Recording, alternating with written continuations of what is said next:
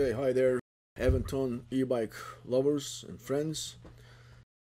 This recording is about 10 minutes. Uh, it was recorded on uh, Lebanon Hills uh, mountain bike uh, trail. That's one of those trails in the state of Minnesota, very near to where I live. I live in Apple Valley, so this is about three and a half miles uh, uh, north of, I'm sorry, east of where I live. So this is a pretty nice large uh, trail. It has a lot of uh, you know paths and uh, weird kind of nice wooded areas. Uh, camp campgrounds. Actually, I saw somebody. Uh, I think with a permit. He had a large uh, tent.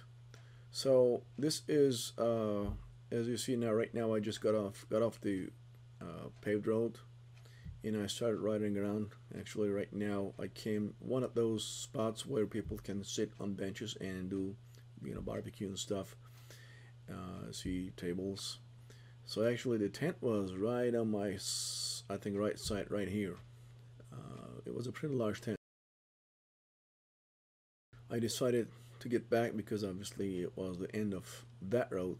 Uh, this is one of those uh, nice little campgrounds and I'm going to continue in the opposite direction to find a different uh, different path. There are various different paths for uh, just walking, walking with a dog, and riding a horse, uh, cross country skiing, all those all those activities activities. So, yeah. First off, you know you're gonna be hearing a lot of rattling because uh, obviously the road itself is is not paved, and my tire pressure was a little. I should have actually reduced the tire pressure to uh, have a little better grasp on the road and reduce, maybe, possibly reduce a little bit of a shaking. And plus the the smartphone put on the case, uh, which is fixed to the handlebar, uh, there's a little magnet to hold the uh, phone in place to kind of reduce the uh, amount of rattling. And that wasn't done properly. So, yeah, that is the portion, unfortunately.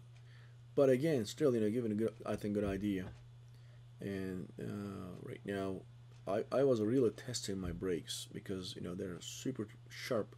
Like you see this is one of them sharp turns and a lot of uh, steep downhills and steep uphills. So I really tested my bike my Aventon uh, Aventure uh, to go through these. And it basically with to my 100% satisfaction I could say 100% satisfaction it passed all these tests. Uh, right now, actually, I just climbed one of those steep uh, slopes. It is not as easy to realize uh, the steepness and slope, uh, you know, the grade of it, but I think it was about uh, 9 to 12 percent according to my uh, bike application.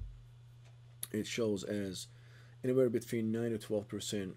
That was the level of grade, which is not too bad. You know, it's pretty steep actually. So the combination I was using the uh, pedal assist level 5 and gear. I was keeping the gear here at 1 obviously to be able to control the bike.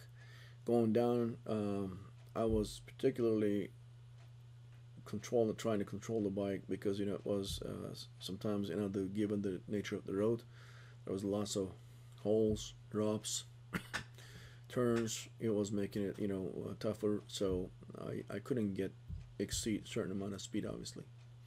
So uh, gear level, uh, number one was to me uh, I think the best uh, level of speed as far as uh, gears go. Oh this is again the name of the place the trail is called Lebanon Hills. There is another area that's the paved section of it where I'm gonna try another uh, speed test. It's really long and pretty steep. So I'm gonna go ahead and try another time.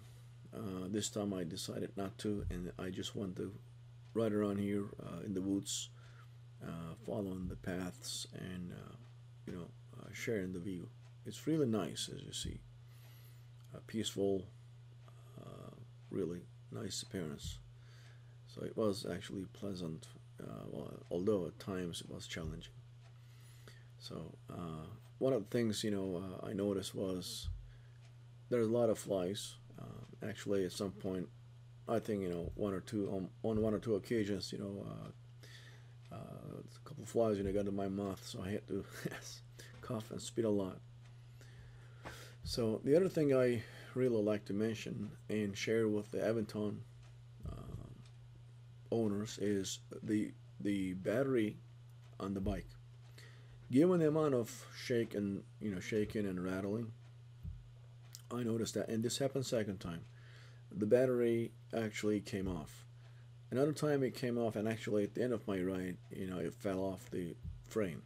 And that was very disappointing right? I mean you just don't expect the battery falling off the you know off the frame especially that the, the Aventon built it such a way that you know you can actually there is a you know a compartment to put the battery in and it's locked in its place. And you can use you got to use a key right to to remove the battery.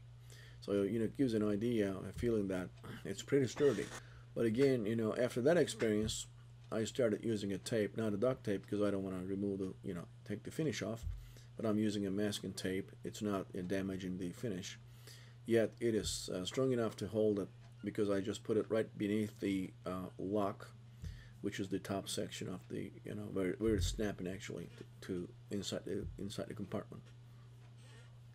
And uh, I found that at the end of this ride that the battery actually kind of came off but it didn't fall because the, the masking tape was holding it its, in its place. But that was kind of disappointing I think you know any anybody with Aventon Aventure should be aware of this and in fact the company I think should be aware of this that you know uh, in this kind of an environment where there's a lot of you know uh, rattling and shaking uh, in the nature that one can actually lose the battery which is very very unpleasant experience.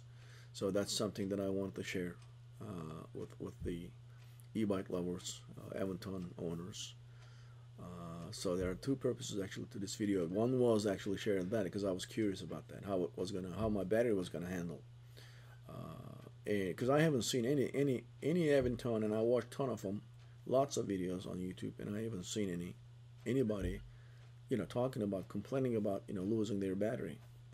So looks like maybe I don't know if I'm on the only one or not, but it happened to me. So that's that's the that's one of the uh, intents of you know uh, sharing this video. So. Uh, like I said, you know, there are those signs you're seeing. There's a, this is a map there. Um, little signs. Uh, some of them are showing like you know it's the wrong way, for instance, for cross-country skiing and things like that. Um, it's a real, it's a real large trail. It has various, you know, entry points and exit points. So right now I'm kind of you know gaining speed going downhill. There you go. And sometimes you know it's kind of a little bit blurring. The, the, the picture is getting a little blurred. I think it's a combination of I don't know my uh, the shaking amount of shaking and the stabilization function on my smartphone probably is somehow being overwhelmed. Know, so it's a little bit fuzzy sometimes but in general overall I think it's good you know giving a good good idea good picture. Uh, like I said this is um, the, the trail is right next to the trail I saw a bunch of uh, RVs a lot of people parked there. Uh, they're kind of enjoying I think their time around the park. And also this is uh, very close to to uh, Minnesota Zoo uh, in the same area. That's also about three miles away from my house so another time actually I'm planning on doing that going to Minnesota Zoo riding around there and making another video with that.